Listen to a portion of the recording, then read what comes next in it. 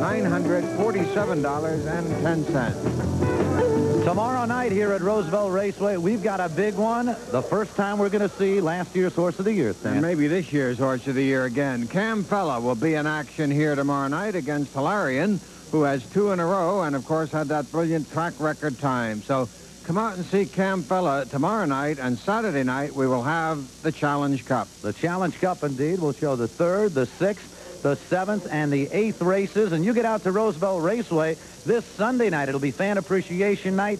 Uh, grandstand admission, only a buck. You can get a beer, a hot dog, also for 25 cents. Sounds good. You get out here. We will be here. And incidentally, the Challenge Cup a mile and a half Saturday. We'll see you then at 11.30 for Stan Bergstein and for Spencer Ross. Good and night, Jackie all. Lee. Bye. Good night, all.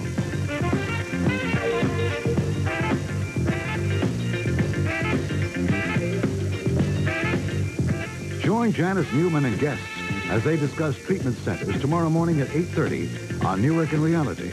Then at 9, find out how to combat drunk driving on Straight Talk. Be in tune with the world. See the CNN headline news next, right here on WOR-TV.